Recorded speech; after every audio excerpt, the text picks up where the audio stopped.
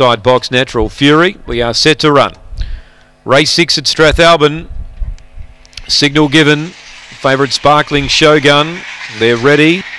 Away, began okay, mustering out wide speed, Natural Fury, booting up Sparkling Shogun. They go together, Sparkling Shogun and Natural Fury. Two and a half to Chatty Whacker running on. Then Amber's Wish, well back born Blackjack, Mary Nyasaland, and Filthy Phantom and Alingadine, the last pair. Sparkling Shogun a length clear, but Chatty Whacker's a danger. It's coming after Sparkling Shogun. It's got it. Chatty Whacker ran to the lead. Sparkling Shogun second, Photo third.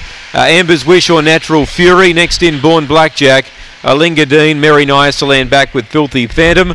Time is 24.49 for Chatty Whacker, number three. Chatty Whacker, too good. Over the top. He lobbed in a handy spot. You knew he was going to be strong late. Sparkling Shogun got the lead. Had to fight for it though.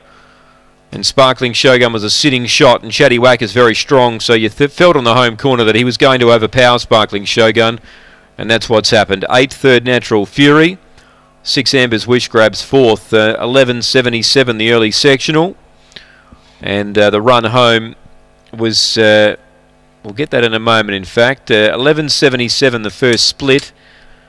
Run home in 12.72. 3, 1, 8 and 6. 24.49 the time.